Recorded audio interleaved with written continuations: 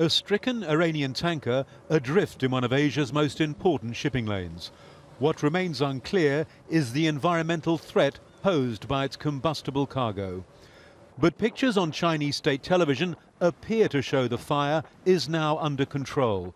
What's less clear is how much oil has so far been spilled.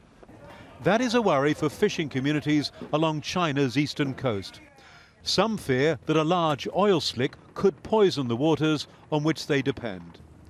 21 survivors of the collision, all from the Hong Kong freighter, the CF Crystal, were brought here after being rescued by local fishermen.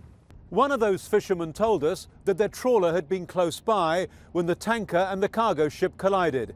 He said, We heard a loud bang before the night sky was lit up. A short time later, he and the other fishermen were helping the crew of the CF Crystal out of a lifeboat. It was too dangerous to reach the tanker, though, he said. It took us about a half an hour to get there. It was a big fire, dangerous. Explosions were still happening. In Iran, the tanker's owners still hope some of their crew are alive. We think that it's likely they will find survivors, since the vessel's engine room is not directly affected by the fire and it's about 14 meters underwater. There is hope.